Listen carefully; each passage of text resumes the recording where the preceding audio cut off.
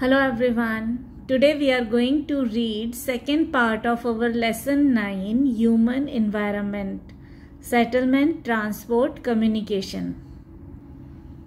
Transport Transport is the means by which people and goods move from one place to another. In the early days, it took a great deal of time to travel long distances. People had to walk and used animals to carry their goods. Invention of the wheel made transport easier. With the passage of time, different means of transport developed to a great extent. Transport also linked centers of production and consumption. Today, even skills and ideas through people move from one location to another using transport systems. Transportation Roadways, railways, airways, waterways.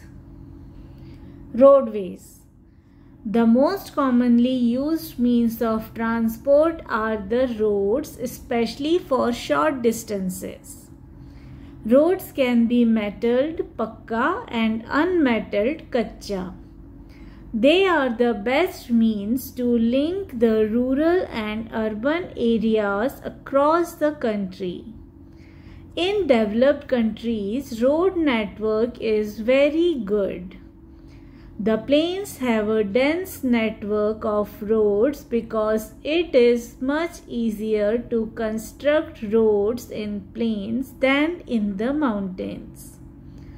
In India, we have national highways connecting all major cities of the country. There are state highways and district roads which connect all cities towns. Manali Leh Highway in the Himalayan mountains is the highest roadway in the world. Roads built underground are called subways, whereas flyovers are built over raised structures. Expressways are the latest addition to the Indian road network. Modern highways provide high speed transport. Roads have now been built in deserts, forests, and mountains. Eastern USA and Western Europe boast of the densest and best quality roads in the world. The Trans-East African Highway connecting Cairo and Cape Town is nearing construction. Australia has the Transcontinental Stuart Highway as its major road link. Railways Railways are the fastest and the cheapest means of land transportation over longer distances. Diesel and electric engines have largely replaced the steam engines. Electric engines are fast and eco-friendly. They do not cause pollution. Railways carry the bulk of raw materials to industrial centers and then transport finished goods to various parts of the country and two ports for export.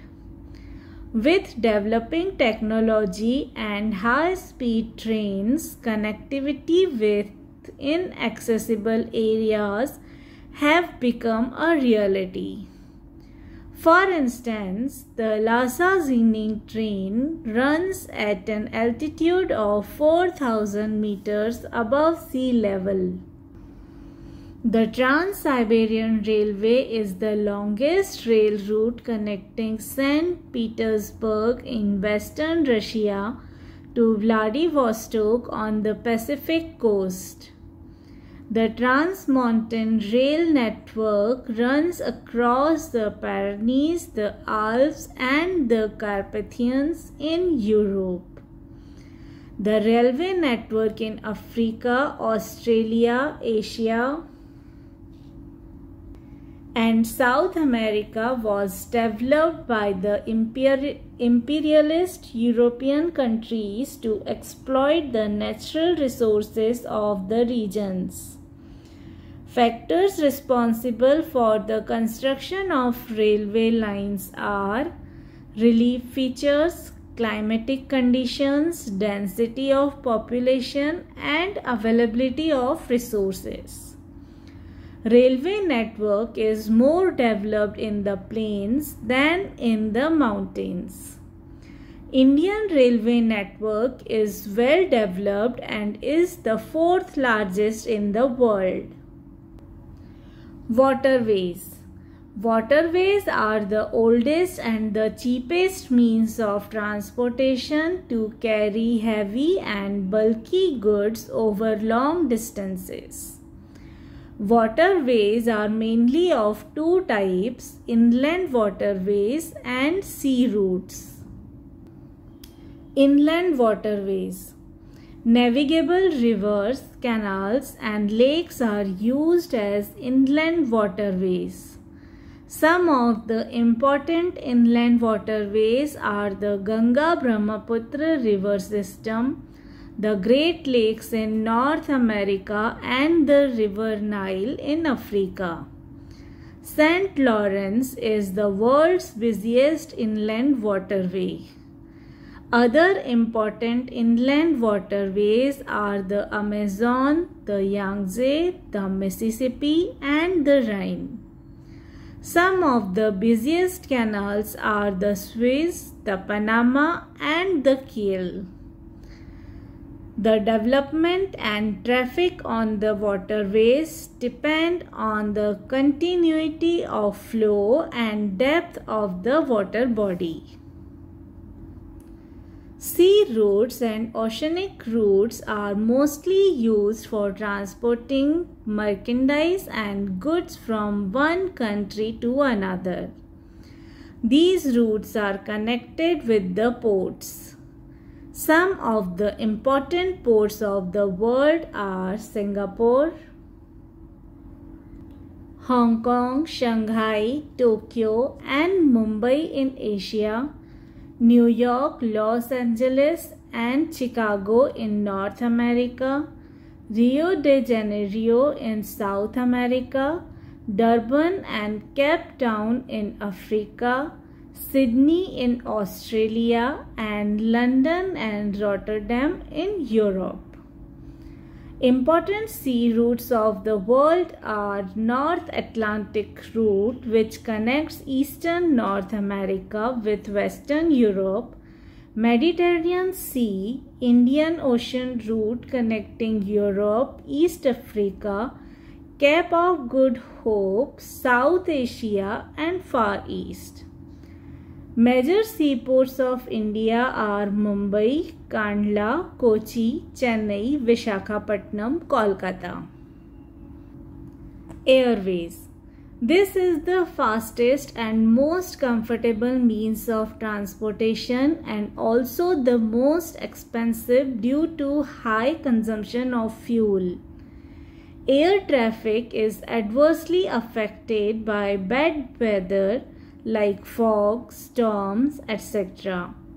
It is the only mode of transport to reach the most remote and distant areas, especially where there are no roads and railways. Helicopters are extremely useful in most inaccessible areas and in times of calamities for rescuing people and distributing food, water, clothes and medicines. Some of the important international airports are Delhi, Mumbai, New York, London, Paris, Tokyo, Rome, Shanghai, Sydney, Dubai, Rio de Janeiro, San Francisco and Frankfurt. Air services are of two types domestic airways fly within the boundaries of a country. international airways fly abroad and connect major cities of the world. Perishable and expensive goods are mostly transported through airways. Communication Communication is the process of conveying messages, sending or receiving and ideas to others. Today's world is shrinking because various modes of communication provide us worldwide information and interaction. With the development of technology, humans have devised newer and faster modes of communication.